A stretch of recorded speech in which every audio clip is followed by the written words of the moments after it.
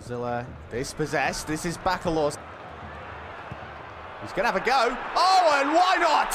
Oh, yes. That is a real special goal. You don't see every day in Bundesliga 2. Bakalorz puts Paderborn 1-0 up with a stunning strike from 30 meters at least. Sign up now for the Bundesliga YouTube channel here. Here. Here. Here. Here. Here. Here.